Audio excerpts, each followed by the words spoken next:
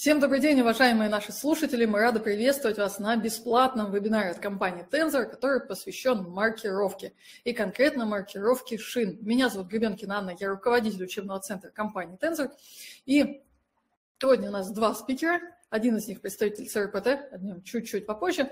Ну, а с нашей стороны э, Дмитрий Забабурин, многие из вас его видели на наших вебинарах. Э, Дмитрий в компании Tensor занимается всеми проектами, связанными а, с маркировкой, а, и поэтому он знает все, что нужно сделать, чтобы нормально начать работать с шинами в... Когда у нас маркировка наступает? С 1 ноября. С 1 ноября. Здравствуйте, уважаемые слушатели.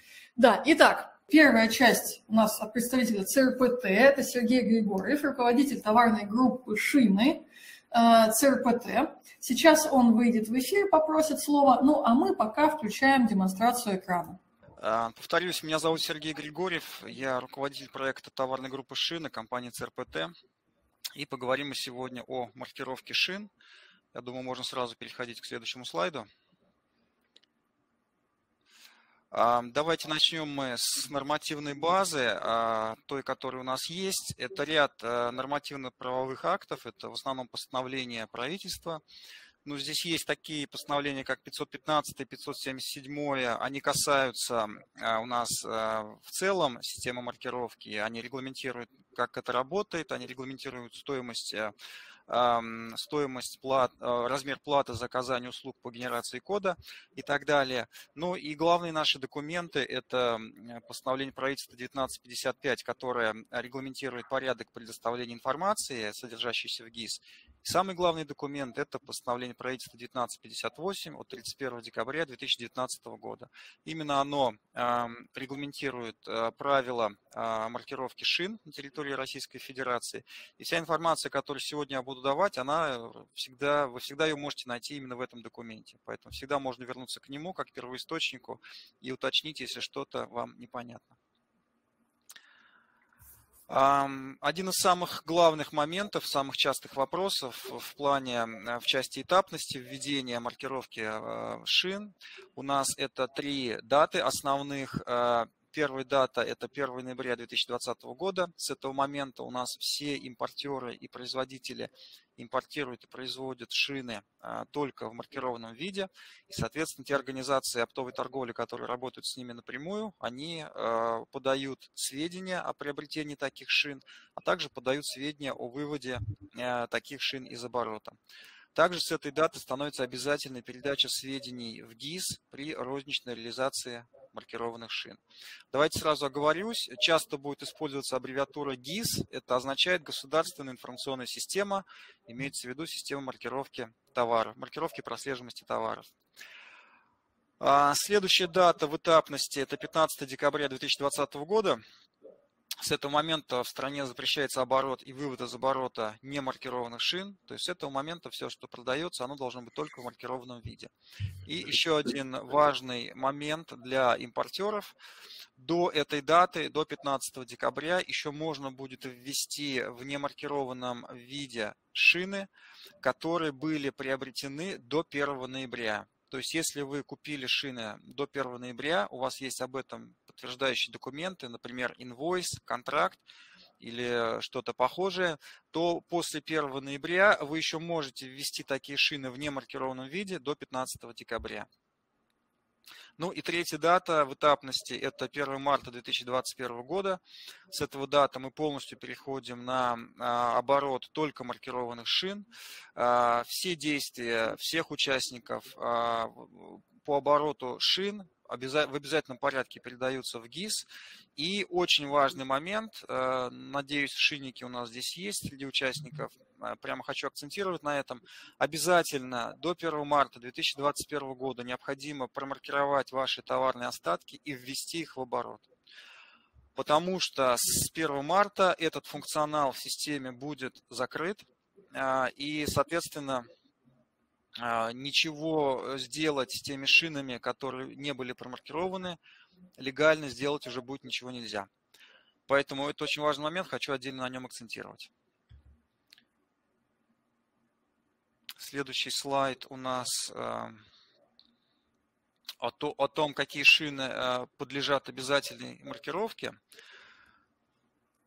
Так, и вот он у нас перед нами. Не хочу зачитывать, сейчас тратить ваше время на зачитывание всего списка тех шин, которые подлежат маркировке. Все это приведено, как я говорил, в постановлении правительства 1958 весь этот список. Если вы не знаете, подлежат ли обязательно маркировке те шины, которые вы завозите или не подлежат, обратитесь к этому списку и, соответственно, к этому документу, и там вы найдете ответ на этот вопрос. Просто сверьте код, под которым вы импортируете шину, с тем кодом, с тем списком кодов, который приведен в документе. Ну, а простыми словами можно сказать, что а, подлежат обязательной маркировке шины для легковых автомобилей, для грузовых автомобилей, для автобусов, для мотоциклов, индустриальная техника, э, лесохозяйственная техника, сельскохозяйственная техника. И также вошли в маркировку шины так называемые сплошные или полупневматические, но вот сейчас э, идет диалог о том, что, возможно, эти шины будут исключены из маркировки, нужно просто следить за обновлением НПА. Ну и э, совершенно точно не подлежат маркировке э, шины для велосипедов, для воздушных судов, для самолетов по-простому. Не подлежат маркировке камеры, ободные ленты, протекторы взаимозаменяемые. А можно следующий слайд показать. А что касается ответственности, на сегодняшний день это статья 15.12 э, Кодекса об административных правонарушениях Российской Федерации. А, прописаны штрафы для граждан, для юридических лиц, для должностных лиц э, в случае несоблюдения правил э, маркировки товара, который подлежит обязательной маркировке. Поэтому вот на этот документ также можно опираться. Далее.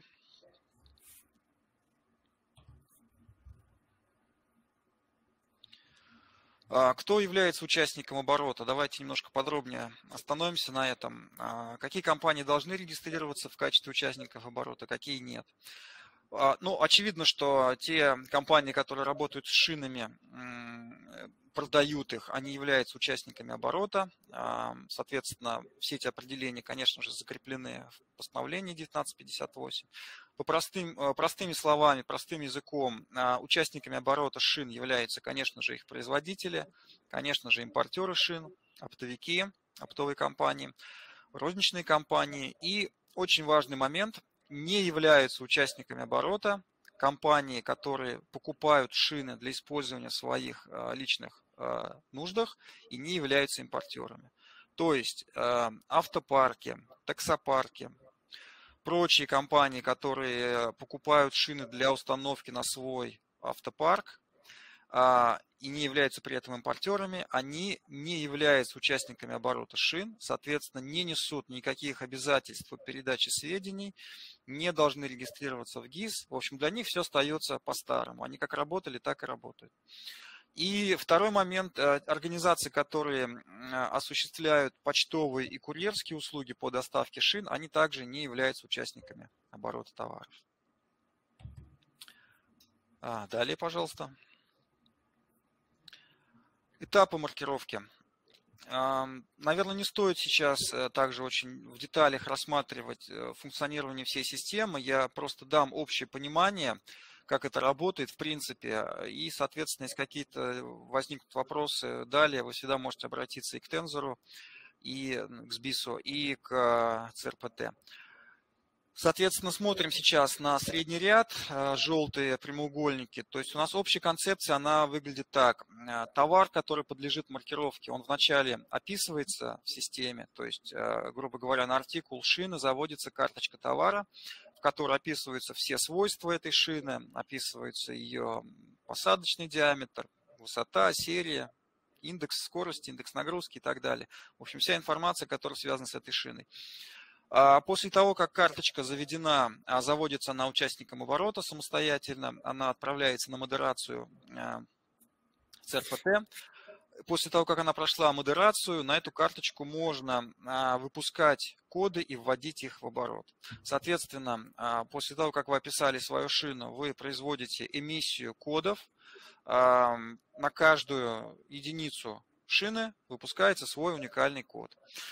А, после того, как коды эмитированы, выпущены, они вводятся в оборот, ну и далее начинается прослеживаемость, э, то есть движение шины по цепочке от одного участника оборота к другому, от производителя к оптовику, от оптовика к розничнику и так далее. Ну и, собственно, вся, вся эта цепочка, она отслеживается. Каждый участник оборота, получив шину, он сканирует с нее код, передает информацию об этом в ГИС, и ГИС э, двигает этот код от одного ИНН другому. То есть так происходит прослеживаемость. Ну и после того, как шина пришла в точку, где она будет продана конечному потребителю, она выводится из оборота, код сканируется последний раз, последний раз передается в ГИС, и, собственно, на этом а, прослеживаемость шины заканчивается. Можно следующий слайд показать. Несколько слов о том, как получить и нанести коды. Ну, сначала пару слов, собственно, о коде. А, код маркировки – это, в принципе, это цепочка символов. А, она разной длины для разных товарных групп. В нашем случае, в случае шин, это 75 символов, если не учитывать служебные символы. Это могут быть и цифры, и буквы, и символы, такие как скобки, апострофы, кавычки и так далее. А, важно очень не путать код идентификации и код маркировки потому что код маркировки – это вся цепочка, вся, сим, вся цепочка символов уникальная, а код идентификации – это ее часть. При этом код маркировки, он состоит из двух больших частей – это код идентификации и крипточасть. Крипточасть, а, она, естественно, генерируется, как и сам код, на стороне оператора, она также уникальна, и ее цель, это, ее назначение – это обеспечить защиту от взлома и от подделки кода маркировки. Код идентификации состоит, э, в свою очередь, из кода товара и серийного номера. Код товара, а, он, а, ну, есть международная система GS1, так называемая, она присваивает а, коды, нет, Дмитрий, можно, наверное, еще на предыдущем слайде остаться, про коды маркировки. У меня почему-то перешло на следующий, да. А, так вот, а, код товара – это так называемый GTIN или EAN. А, он присваивается международной организации ГС-1. На этапе создания карточки товара он автоматически вам будет выдан, если вы произвели регистрацию в ГИС правильно и оформили членство в ГС-1. И, соответственно, он будет э, вставляться во все коды маркировки тех шин, которые вы маркируете. Ну и э, вторая часть кода идентификации – это серийный номер. А серийный номер должен быть уникален. А, вы можете выдавать его либо сами, либо поставить галочку соответствующую в ГИС в личном кабинете, и система сама выдаст вам серийный номер, который будет гарантированно уникален на протяжении как минимум пяти лет. То есть вот э, в двух словах вот о том, что такое код маркировки. А дальше, пожалуйста. Запрос и получение кодов, а, ну, в целом он выглядит вот так. То есть стоимость у нас услуги по генерации кода на стороне оператора, на стороне ГИС, это 50 копеек без НДС, закреплено это в постановлении соответствующем.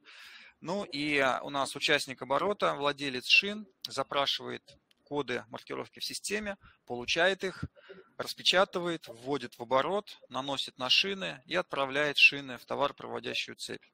Срок жизни кода после того, как его а, забрали а, из системы, ввели в оборот, он а, его нет, он бессрочен, то есть шину, шину вы можете продавать и 10 лет, и 20, все это время она будет оставаться в обороте. Далее, основное средство идентификации – это этикетка.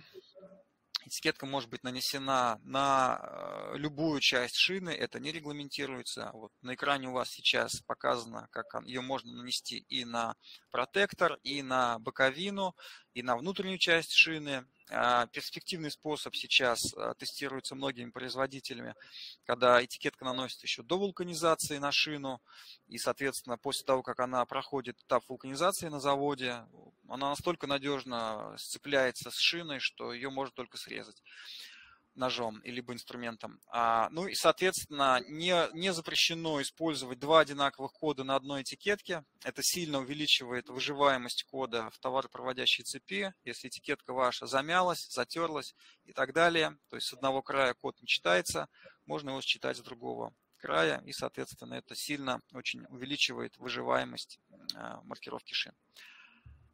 Далее, пожалуйста.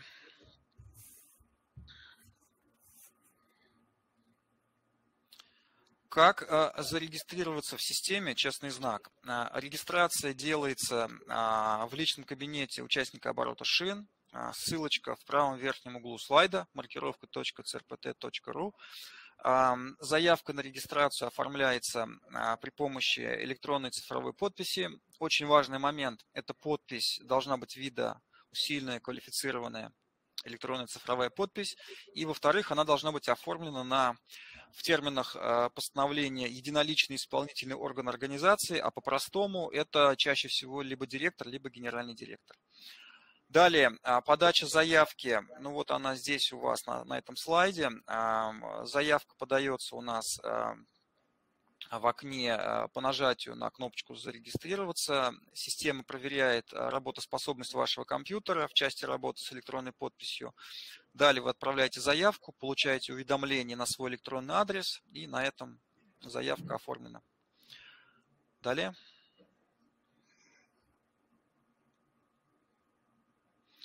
А после того, как заявка была сделана, а, вы а, зарегистрировались, уведомление об этом также будет э, вам отправлено на электронную почту. Вы попадаете в свой личный кабинет. Интерфейс выглядит примерно вот так. Есть три основных компонента, с которыми вы будете работать в системе. Первый – это каталог. Это то место, где вы описываете свои шины, заводите на них карточки товара. Второе место – это станция управления заказами там вы имитируете коды на описанные шины. И третий компонент – это маркировка товаров. Там происходит отгрузка, приемка шин, ну и прочие действия по обороту с шинами. Далее, пожалуйста. А, конечно же, информация новая, информации много, поэтому э, обязательно в личном кабинете есть а, инструкции. А, вот, э, полный перечень инструкций можно получить, нажав на букву И латинскую в правом верхнем углу. Далее.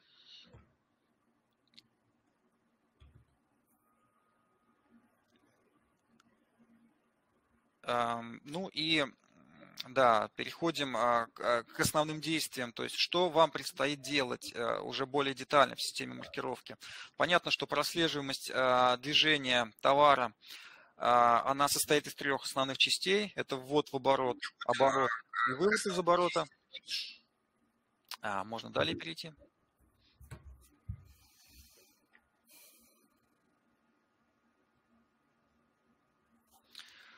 Ввод товара в оборот. Ну, то есть у нас есть разные случаи ввода товара в оборот, все они описаны в постановлении. Это, конечно же, и производство новых товаров на территории страны. Это, конечно же, ввоз с территории ЕАЭС и с территории других стран, с дальнего зарубежья. Это, конечно же, прием шин а, на комиссию от физических лиц, когда вы принимаете шин для того, чтобы продавать их как участник оборота. Это возврат шин от покупателя, когда шина возвращается в соответствии с законом о защите прав потребителя, а, и код на них утрачен, соответственно, вы вводите его в оборот, а, вводите их заново в оборот. Ну и маркировка остатков, которую обязательно нужно сделать до 1 марта а, и ввести шины в оборот. Это все тоже случай ввода шин в оборот. Далее, а, значит, прослеживаемость э, движения товаров в целевой нашей модели, она обеспечивается при помощи электронного документа оборота. Те компании, которые с ним работают сегодня, я думаю, что никаких больших изменений они не увидят. Единственное нововведение а, теперь э, в те документы УПД, универсальные передаточные документы, которые вы оформляли ранее, теперь в них э, также будут заноситься коды идентификации передаваемых шин. А, собственно, здесь э, после этого вы подписываете УПД со своей стороны, направляете покупателю, он подписывает со своей стороны, и после этого а, оператор ЭДО автоматически передаст а, коды из документа в ГИС, и ГИС, соответственно, сделает соответствующие действия, передвинет коды с ИНН продавца на ИНН покупателя. Далее, после того, как шина дошла до конечной своей точки в цепочке продаж, она выводится из оборота. Вывод из оборота, он может быть, э, ну, собственно, не только в, при продажах. У нас экспорт также является выводом из оборота. У нас э, продажа шин в розницу с использованием кассы – это вывод из оборота. продажи юрлицу, который поставит эти шины на свой э, транспорт, это тоже вывод из оборота, ну и так далее. То есть у нас есть и случаи утери, порчи, кражи шин, они также выводятся из оборота. Ну и продажи по образцам или по-простому интернет-торговля, это тоже вывод из оборота. Самый простой способ, просто для понимания, как это выглядит, а, вывод из оборота в магазине. То есть э, шина продается в розничном магазине покупателю, и в этом случае у нас сканируется а, код каждой шины, он автоматически передается в кассу. Мы предполагаем, что касса у вас адаптирована, перепрошита для работы с маркировкой. Ну и касса автоматически помещает этот код а, в чек, в тег 1162, и дальше этот чек уходит оператору фискальных данных. Оператор фискальных данных код передает в ГИС. ГИС выводит этот код из оборота. А, понятно, что информации много, информации много, повторюсь, информации новая, поэтому вся информационная поддержка, конечно же, и у партнеров э, ЦРПТ, и на самом сайте честныйзнак.рф в разделе «Маркировка шин», исчерпывающий перечень инструкций по работе с системой у нас здесь. Ну и вот на следующем слайде показаны а, другие способы получения консультации.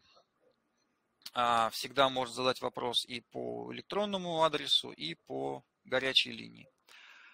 На этом моя часть а, закончена. Да, спасибо огромное нашему спикеру Сергей. Я думаю, что мы можем с вами попрощаться и отправить вас в чат и на блок вопросы отвечать на наши вопросы. Угу. Информация исчерпывающая. Все, увидимся уже в офлайне. Всего доброго. Спасибо, Сергей. Ну что ж, очень много у нас информации. Спасибо большое нашему спикеру. Мы узнали основы работы системы маркировки. Ну а теперь поговорим о практике. Что именно нужно делать нашим слушателям и э, как это все работает. Сейчас мы снова включим демонстрацию экрана, включим другую презентацию, но перед этим, а, пожалуйста, зайдите в наши опросы. Вижу, что вы в них поучаствовали. А, мы будем очень вам благодарны, если вы проголосуете, скажете, вы а, опт или розница, да, то есть чтобы мы понимали, насколько вам эта информация будет полезна, да, хотя мы, в принципе, сейчас будем говорить и о том, и о и о другом. Так, и э, на всякий случай, чтобы мы тоже понимали, насколько должна быть а, подробная информация, там есть а, вопрос у нас, зарегистрирован, зарегистрированы ли вы уже на честном знаке, отметьте это, если не зарегистрированы, типа сейчас вы знаете, почему это а, совершенно необходимо. Ну, а мы идем дальше. Включили демонстрацию экрана, теперь уже Э, наша часть. И, Дмитрий, тебе слово. Да, как отметил уже Сергей, э, очень важной составляющей в процессе передачи товара от э, производителя до оптового покупателя и, соответственно, до розничного покупателя является электронный документооборот. Именно о нем сейчас мы поговорим с практической точки зрения, и я предлагаю в первую очередь посмотреть короткий видеоролик. Как Сергей уже отметил, это основная Э, возможность передачи товара между участниками оборота. УПД оформляется с двух сторон, в нем содержатся коды маркировки, и когда оба участника подписали электронный документ э, подписями, э, квалифицированными усиленными электронными подписями, оператор ЭДО отправляет этот документ в систему «Честный знак». А, на видеоролике вы увидите несколько кейсов э, работы с э, документами. А, в случае, если у вас нет э, компьютера на складе и вообще может быть склад на улице, а, в случае, если у вас на складе есть компьютер и доступ в интернет, но также мы затронем вопросы интеграции с учетными системами. Вот мы в вопросах уже видели, что у некоторых участников mm используется 1С. Вы наглядно увидите, как использовать электронные документы в интерфейсе SBIS – Э, интегрировать с 1С, и наоборот, в интерфейсе 1С интегрирован со SBIS. Сейчас буквально несколько секунд мы запустим демонстрацию этого видеоролика. Выполнить приемку маркированных шин по электронным УПД в SBIS легко. Даже если у вас холодный склад, нет компьютера и постоянного доступа в интернет, используйте терминал сбора данных на Android или простой смартфон. В SBIS вы легко найдете входящий УПД, например, по номеру ТТН. Чтобы защитить себя от ошибок, убедитесь, что коды маркировки, нанесенные на товары, действительно содержатся в документе. Просто отсканируйте их. Если вы отсканируете код, которого нет в документе, SBIS предупредит вас об этом. После завершения проверки просто подпишите электронную УПД в SBIS или отклоните, если были выявлены расхождения. При этом подписание произойдет удаленно на компьютере бухгалтера или руководителя. Завершив работу по документу, происходит автоматическая синхронизация, когда появится доступ в интернет.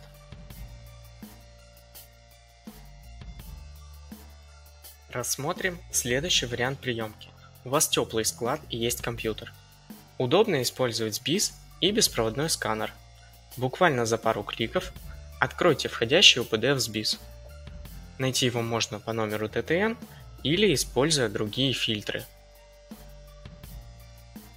Проверив электронную накладную, просто начните сканировать коды.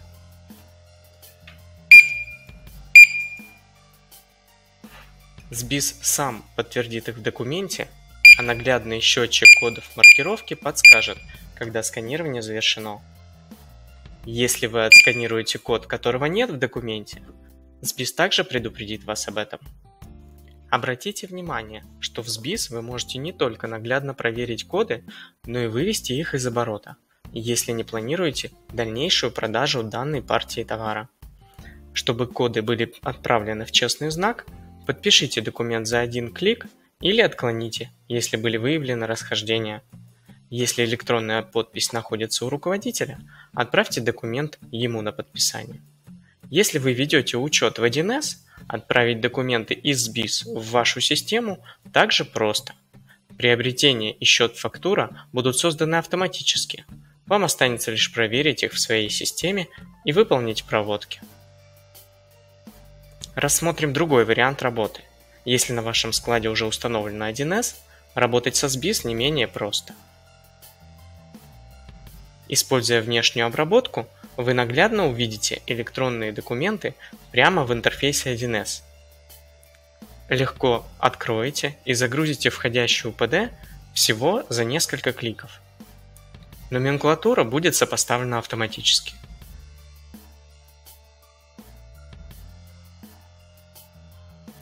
Чтобы проверить коды маркировки, воспользуйтесь штатными средствами 1С в документе приобретения на форме проверки. Когда все коды будут проверены, просто подпишите электронный документ за один клик. Ну что ж, мы посмотрели, как продавать. Приобретать. Да, как приобретать, как принимать товары, да? Это мы все, это мы все посмотрели. А, собственно, можно теперь продавать. Все? Да, Мы а, приняли, мы, мы сейчас продавать? увидели, как проходит приемка. Она одинаковый, про- э, это одинаковый процесс для розничного покупателя и для оптового. Далее э, я предлагаю посмотреть еще пару видеороликов. Посмотрим сначала видеоролик о том, как происходит оптовая отгрузка. Также будет участие склада без интернета, а, либо склад с компьютером и интернетом, использованием сканера. И также затронем вопросы интеграции с 1С. А, Короткий Ну видеоролик. что ж, поехали смотреть, как происходит отгрузка. Отгружать шины через электронные документы оборот с BIS удобно и просто. Буквально за несколько кликов создайте реализацию в SBIS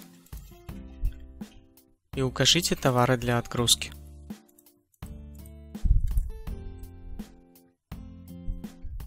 Либо легко загрузите в SBIS документ из вашей 1С, просто выбрав его из списка. Чтобы внести в УПД коды, просто начните сканировать их.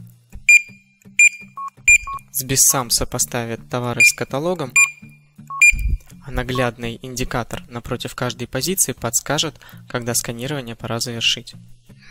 Если вы отсканируете код маркировки дважды, SBIS предупредит вас об этом. Чтобы вывести коды из оборота, например, для собственных нужд покупателя или при дистанционной торговле, нужно всего лишь еще два клика, а затем документ можно отправить. Если в месте отгрузки нет компьютера, удобно сканировать коды в SBIS терминалом сбора данных на Android или обычным смартфоном, камерой или сканером, подключенным по Bluetooth. Просто откройте нужную реализацию и начните сканировать коды. SBIS сам добавит их в документ и покажет наглядно на каждой позиции. Если вы отсканировали код дважды, SBIS также предупредит вас об этом. Когда документ готов, отправьте его контрагенту за один клик. Через BIS удобно работать и в 1С. Используя штатные средства, создайте реализацию и наполните кодами. Когда документ готов, вы легко увидите и отправите его через внешнюю обработку SBIS. При этом SBIS автоматически перенес в документ все коды, указанные в 1С. Вы можете наглядно увидеть это в личном кабинете SBIS.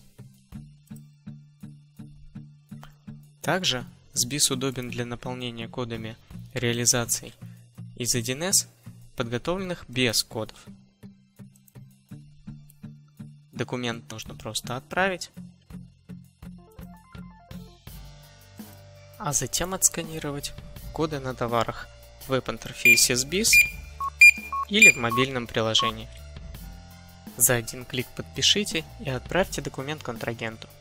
Спасибо за внимание, удачных продаж!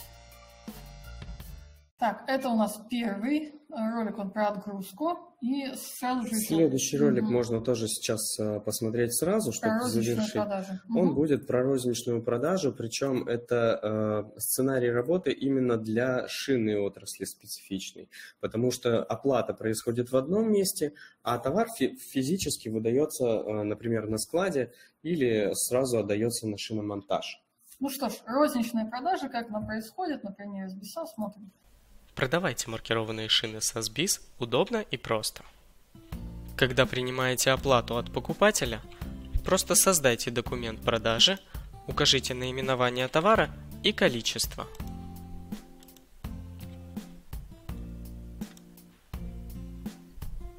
Подготовьте для покупателя чек предоплаты на полную сумму. С ним он отправится на склад для получения товара.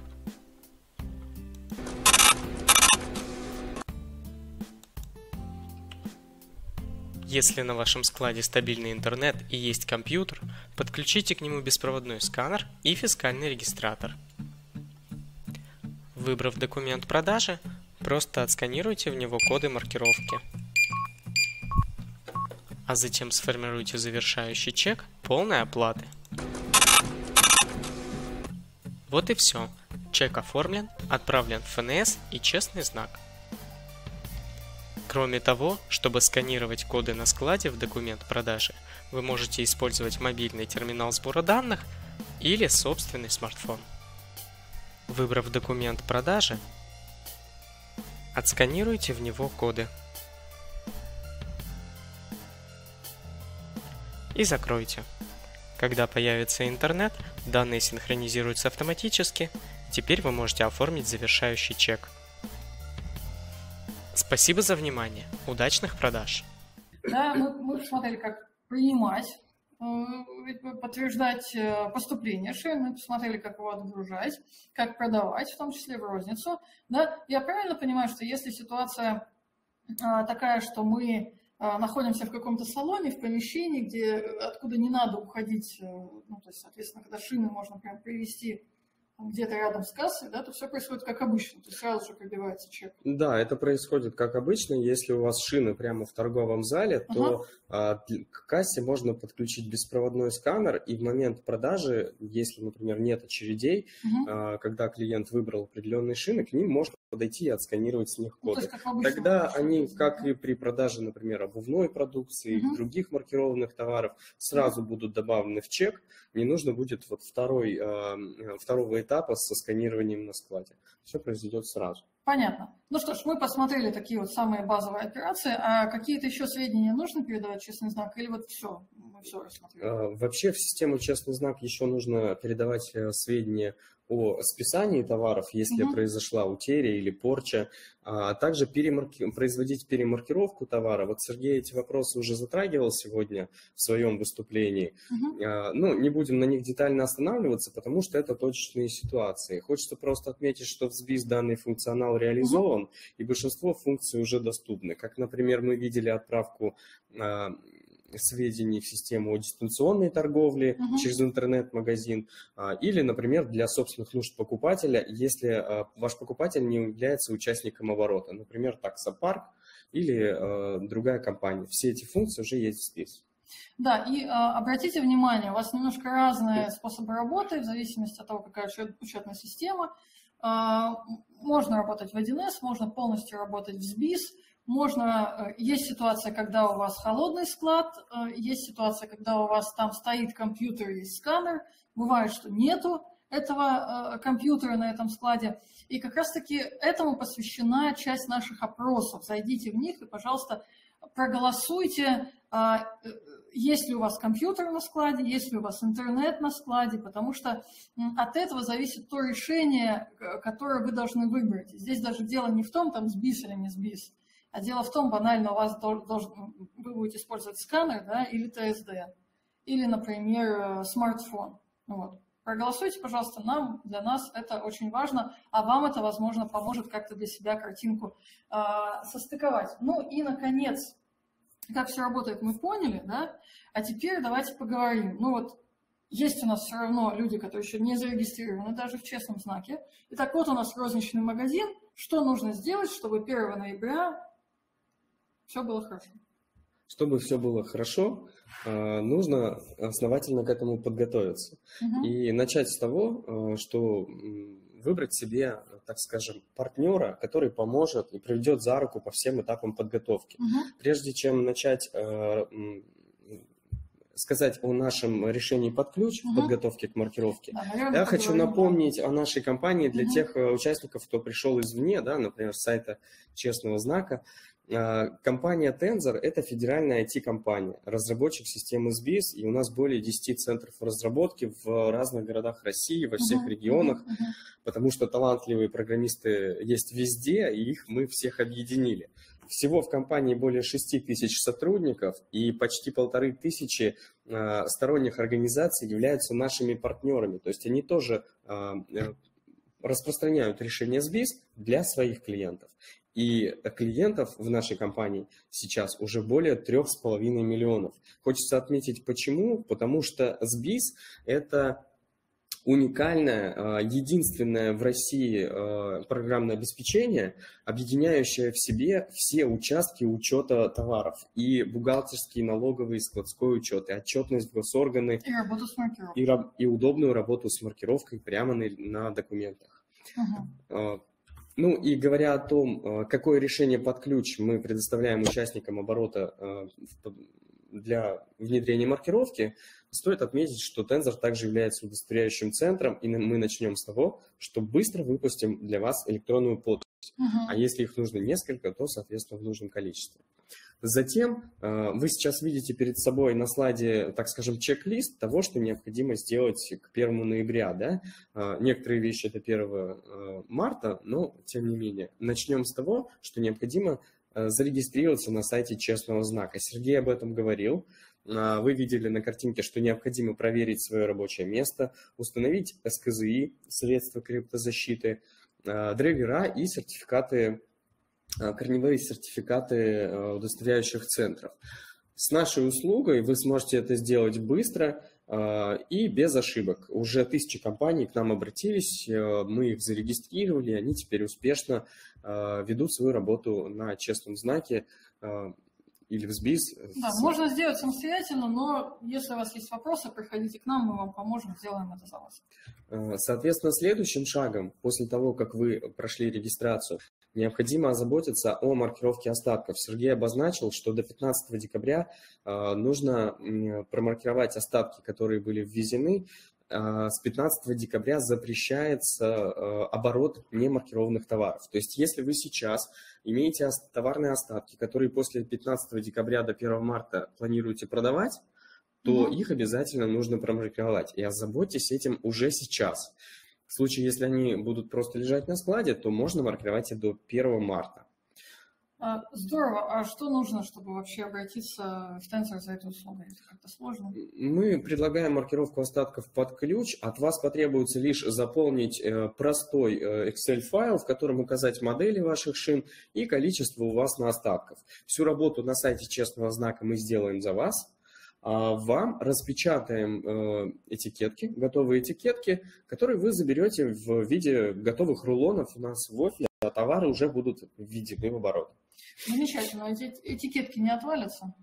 А, мы используем специальные расходные материалы и протестировали уже с э, более, более тысячи этикеток. Наши клиенты довольны и эм, отзываются только положительно. Ну, здесь, конечно же, важно отметить, что перед нанесением этикетки на шины, что, наверное, логично, поверхность для нанесения необходимо сначала очистить и обезжирить. А, в принципе, этикетки устойчиво держатся и надежны от повреждений. Ну, отлично, зарегистрировались, остатки промаркировали, что дальше нужно сделать? Ну, дальше уже непосредственно начинается работа, а чтобы работу эту начать, нужно приобрести сканирующее оборудование. И здесь опять-таки обращаем внимание на то, какой у вас склад, а, где вы осуществляете приемку и, возможно, отгрузку. Если это теплый склад и у вас есть компьютер, то самый бюджетный вариант – это использование беспроводного сканера, чтобы подходить к шинам, uh-huh, а не таскать uh-huh. их компьютеру. Всего 6900 за простой сканер штрих-кодов. Если все-таки этот вариант не подходит, э, будь то теплый склад или холодный, то э, самое удобное – использовать терминалы сбора данных. Отмечу, что терминал сбора данных э, в нашем случае используется на системе Android, и в нем для работы с кодами используется мобильное приложение с бизнес-складе. Угу. И как вы видели на видеороликах, что данное приложение вполне можно использовать и на простых смартфонах, и а считывать коды. Как камеры. нам, э, э, от, от чего вообще зависит? Мне вот обязательно нужен TSD или смартфон? У всех смартфоны есть на Android, ну, ну, это зависит от объема товарооборота. Если шин много, то э, при сканировании камерой телефона придется немножко прицеливаться. Несмотря на то, что mm-hmm. это происходит быстро, у нас, например, есть клиенты из табачной отрасли, которые блоки сигарет э, на своих больших складах сканируют с помощью смартфонов. Mm-hmm. И э, вполне ресурсы смартфона справляются. Но чтобы автоматизировать работу и сделать ее еще более быстрой, удобнее использовать терминал сбора данных, потому что в нем камера равная камере сканера mm. штрих-кодов. Mm-hmm. Она находится прямо на торцевой части терминала. Понятно. Ну что ж, здесь выбираете сами, а, что вам ближе. Да? А, либо для приемки использовать смартфоны с нашим приложением, либо там, TSD, либо беспроводной сканер. Ну, а кроме этого оборудования что-то еще нужно, кроме сканера или TSD? А, да, еще необходимо онлайн-кассу. Как отметил Сергей, вывод из оборота происходит именно при продаже через кассу. Угу. А, наверное, уже у всех она есть, Конечно. и все подключены к ОФД, но кассу нужно будет обновить. Как Сергей сказал уже, да, обновить прошивку на кассе. Uh-huh. Наши сервисные центры, э, центры Tensor размещены во всех регионах России, и инженеры, э, наши инженеры квалифицированно сделают это без ошибок для вас э, в самые короткие сроки. И важно отметить, что касса, она лишь получает код маркировки для записи в чек. А перед этим в кассу чек, код маркировки передается от кассового программного обеспечения. Программа. Угу. Поэтому обратите внимание, если у вас сейчас а, используется кассовая программа, которая не поддерживает работу с маркировкой, или у вас просто автономная касса, на которой э, необходимо забивать каталог товаров и э, подключать маркировку. Это очень муторное uh-huh. занятие, uh-huh. то есть это долго и трудозатратно. Удобно использовать готовое решение с BIS касса. Это кассовое программное обеспечение в едином интерфейсе с электронным документооборотом uh-huh. и всем, э, всеми остальными функциями. Мы а, подключим ее угу. к оборудованию, которое уже у вас есть, и научим с этим работать. А я правильно понимаю, что всем, у кого есть касса, но нужно к своему э, сервисному центру, к своему, в свою цветовушку обратиться и спросить просто, вот наша, э, проверьте нашу кассу, а умеет ли она работать с маркировкой. Ну вот, чтобы не заморачиваться в контексте Проверить э, это несложно, не, обращай, не обязательно обращаться в свое ЦТО, чтобы проверить mm-hmm. версию прошивки. У нас на сайте спис выложены инструкции, как вы пошагово, распечатав простой чек на, вашем, на вашей кассе, увидите версию прошивки, mm-hmm. сверите ее по таблице, подходит он для маркировки или нет, и, соответственно, если требуется обновление прошивки, можете обратиться в Tensor для обновления. Если трудно проверить э, самостоятельно по инструкции, что-то не получается. Номера техподдержки, можете да, к нам звонить, да, мы поможем это сделать. Обращайтесь, мы вам в любом случае поможем. Ну что ж, супер, мы все купили, подключили, остатки промаркировали, теперь можно приступать к работе? Да, да, теперь э, можно уже начинать работу. А, так как вы видели э, сегодня на видеороликах, происходит работа с кодом маркировки в SBIS. И отдельно хочется отметить, э, что вы можете гарантированно защитить себя от ошибок, а как следствие от проверок Роспотребнадзором и другими госорганами, э, если воспользуетесь нашей услугой обучения работе с маркировкой под ключ. Буквально за один час все, что было на видеороликах, мы расскажем вашим сотрудникам, научим, объясним и даже ответим на вопросы э, в деталях. Да, а в роликах мы еще показывали про работу в 1С. Кстати, отметьте, поставьте нам, а, проголосуйте, если вы работаете в системе 1С. Мы этому тоже научим? Да, э, и работа с 1С э, э, нам доступна, SBIS интегрирован с этой системой. И сейчас, кстати, до конца октября действует акция при приобретении услуги по установке и настройке внешней обработки SBIS, которую вы видели на угу. видеороликах. Э, в которую входит также и обучение. При приобретении маркировки это э, услуга всего за полцены. Угу. Ну, мы начали говорить о ценах, да, очень хотелось бы нам, чтобы для вас все это было бесплатно, но э, любое, любая автоматизация, любой переход на новый уровень автоматизации, это, конечно, определенные затраты, и давай поговорим о цифрах, э, сколько будет стоить наше решение для опта и для, для розницы. Ну да, можно разделить э, наших уважаемых слушателей на оптовый и розничный бизнес. Э, и для того, чтобы, скажем, по ценам э, рассказать, что необходимо, начнем с оптовых компаний. Для того, чтобы работать с документами, содержащими коды маркировки, чтобы работать с кодами, нужна всего лишь лицензия с BIS-маркировкой. Она mm-hmm. стоит всего полторы тысячи рублей. При этом, mm-hmm. при приобретении этой лицензии, опять-таки по акции до конца октября, Э, лицензия на электронный документооборот по э, скидочной цене 990 рублей. Угу. Лицензия необходима для того, чтобы самостоятельно отправлять УПД своим покупателям оптовым э, и вести продажи.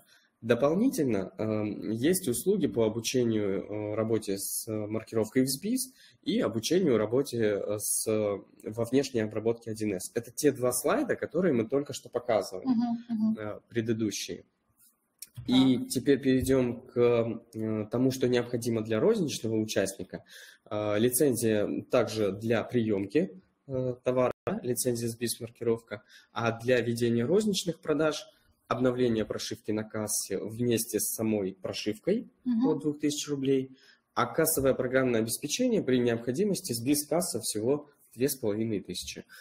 Те же услуги, что и для оптового участника, это обучение работе с маркировкой в СБИС, либо, а может быть и вместе, интеграция с типовой конфигурацией 1С э, за полцены при приобретении маркировки.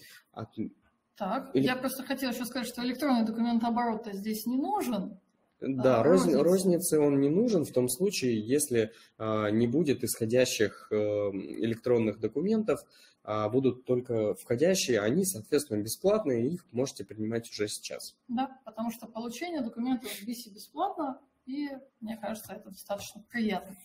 Да, так. и дополнительные услуги. Угу. Мы с вами в начале нашей презентации отметили, что можем промаркировать остатки под ключ и зарегистрировать на честном знаке. А, цены вы тоже сейчас видите на экране. Отмечу, что маркировка остатков под ключ включает в себя два этапа. Их можно купить вместе, а можно по отдельности. Угу. То есть работу на сайте честного знака можно купить отдельно, а печать этикеток отдельно. Если вы готовы сами выполнить всю работу на сайте uh-huh, честного знака, uh-huh. то только печать этикеток можете заказать. Ну и для того, чтобы это все стало вам доступно, обращайтесь прямо сейчас по номеру горячей линии, который вы видите на экране.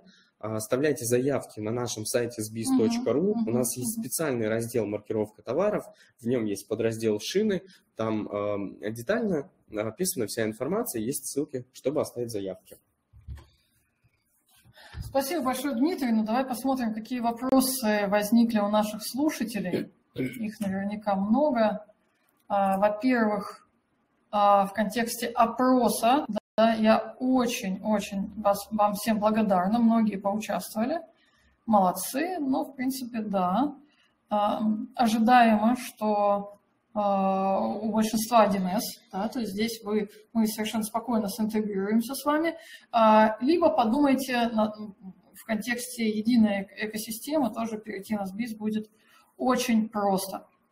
Так, ну и в контексте вопросов, целых 42 вопроса, и эм, мы начнем сверху. Огромное спасибо нашему эм, технологу Соловьеву Алексею, который помогает нам сейчас в прямом эфире отвечать на эти вопросы. Э, вижу, так, так, так, так, так, так, так. От Истомина Дениса, как нам поступать с немаркированными шинами на складских остатках если мы являемся прослойкой между прямым поставщиком и покупателем.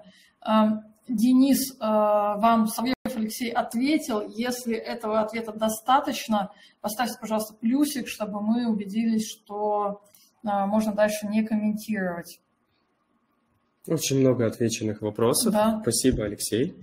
И спасибо огромное э, нашим слушателям, которые информируют о том, что им достаточно, да, достаточно ответа. Новожилова Надежда, спасибо, что вы э, прочитали ответ, который вам дали. На волне благодарности да. Сергею э, огромное спасибо не только за участие в вебинаре, но и за ответы на вопросы. Вот мы видим, какой алгоритм работы задал вопрос Александр Шамаров. Сергей, спасибо за ответ. Э, так, заходите, заходите в э, ответы на вопросы, сигнализируйте нам о том, что вам этого достаточно. От э, Тюриной Ирины, кстати, неотвеченный вопрос, посмотрим. Давайте посмотрим. Хочу ввести шины на диски запчастью, а потом разукомплектовать как шину и диск и продать по отдельности. УПД после 1 ноября, как мне промаркировать шины. А, ну, в данном случае, я полагаю, все-таки на данный вопрос более детально ответят наши технологи, потому что это такой uh-huh. технический нюанс. Uh-huh. И отмечу, что после того, как вы шину э, с диска сняли, вот после этого э, вам удобнее будет промаркировать эту шину как товарные остатки. Uh-huh. Так как остатки маркируются по 15 декабря, Э, вы сможете это сделать. Это будет для вас более удобный вариант, э, в том числе и по описанию товара. Не нужно будет описывать э, по полному атрибутивному составу. Ирина, ждите рассылку, ждите, когда мы опубликуем отдельную новость о, с ответами на вопросы, мы обязательно поразбираемся, возможно, свяжемся с вами отдельно, чтобы уточнить какие-то технические моменты. Так, сейчас смотрю еще неотвеченные вопросы. Ну вот практически все ответили. Очень классно. Да, хочу прокомментировать, да, комментарий Лосева Сергея, не подготовились. Но, Сергей, честно, мы готовились, но иногда возникает э, неожиданности. Техническая заминка, назовем это так. Да. Спасибо, что остались все с нами и досмотрели этот вебинар до конца. Очень классно. Семкин Максим задает вопрос, что при генерации кодов импортерам и передаче этих данных операторам были несоответствия, и таможня не видела номера, декларируемые импортером, и устранили ли эту проблему. Мы запросим информацию от оператора маркировки ЦРПТ, а, проработан ли данный вопрос, Эм, отмечу, что в СБИС есть функционал для производителей и импортеров э, по заказу кодов маркировки mm и по вводу их в оборот. Соответственно, э, в случае, когда выявлены какие-либо несоответствия, это точечная ситуация, которую нужно индивидуально обсуждать. И опишите, пожалуйста, в вашем вопросе, может быть, еще и пример ситуации, чтобы мы, обращаясь к своему партнеру, оператору ЦРПТ, смогли вопрос э, еще и детализировать, до уровня, что была конкретная ситуация. Угу. Ну что ж, а, вопросов очень много. А, мы немножечко выбились из нашего тайминга, очень оптимистичного, поэтому а, все ответы на вопросы, еще раз повторюсь, мы сконсолидируем, соберем в одном файле и выложим.